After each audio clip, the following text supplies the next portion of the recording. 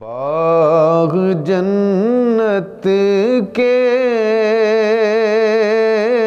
بہرے مدح خانے اہل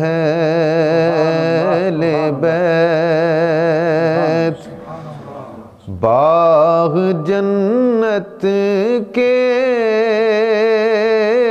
بہرے مدح خانے اہل بیت۔ تم کو مجدہ نار کا ہے۔ دشمنان اہل بیت۔ تم کو مجدہ نار کا ہے۔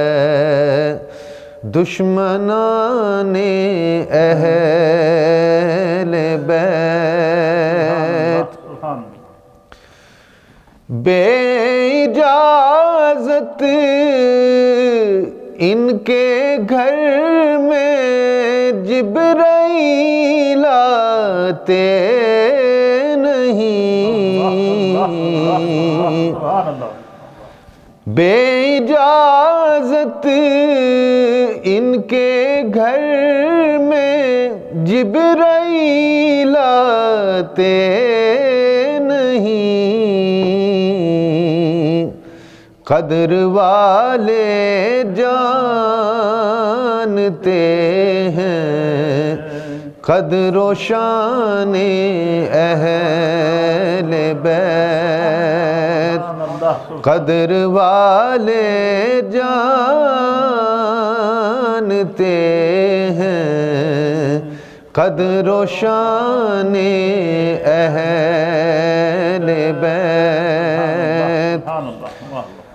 گھر لٹانا جان دینا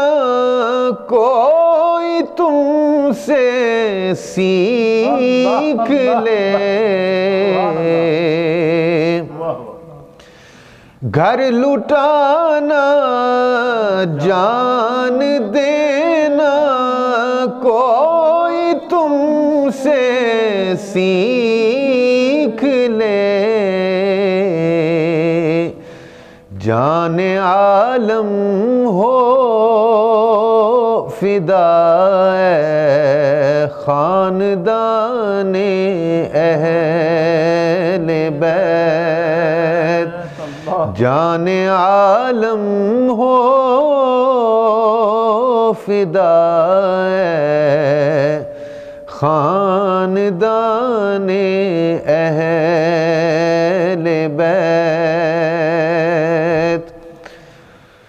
کس شقی کی ہے حکومت؟ ہائے کیا اندھیر ہے؟ کہ دن دہاڑے لٹ رہا ہے۔ کاروان اہل بیت دن دہاڑے لٹ رہا ہے۔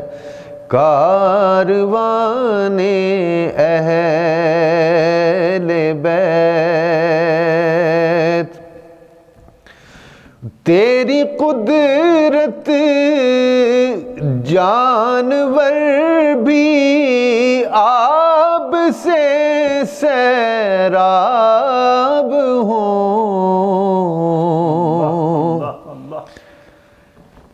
سیدنا امام حسین رضی اللہ تعالیٰ عنہ، آپ بے بس نہیں تھے، اللہ سبحانہ تعالیٰ کی رضا پر راضی تھے۔ There's a difference between being incapable of doing anything and a difference between submitting to the will of Allah subhanahu wa ta'ala. And so Maulana Hassan Raza Khan alayhi rahmah, he sort of alludes to this point here that Allah subhanahu wa ta'ala's will, that even uh, animals, insects, you know, everything is provided for by Allah subhanahu wa ta'ala and all the while here at the edge of the Euphrates river, Sayyidina Imam Hussein radiallahu ta'ala and his family and his young children, a, a child, a baby in arms, Ali Asghar is, is, is uh, they are thirsty and, and they don't have a single drop of water.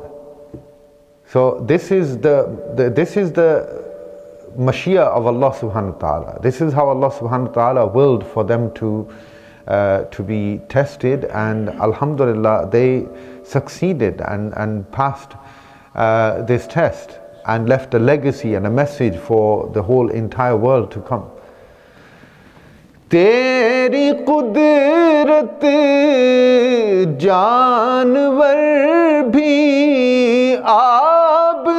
se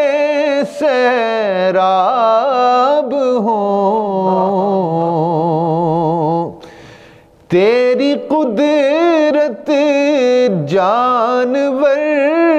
bhi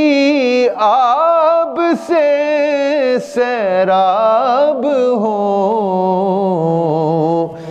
پر پیاس کی شدت سے تڑپے بے زبان اہل بیت۔ پیاس کی شدت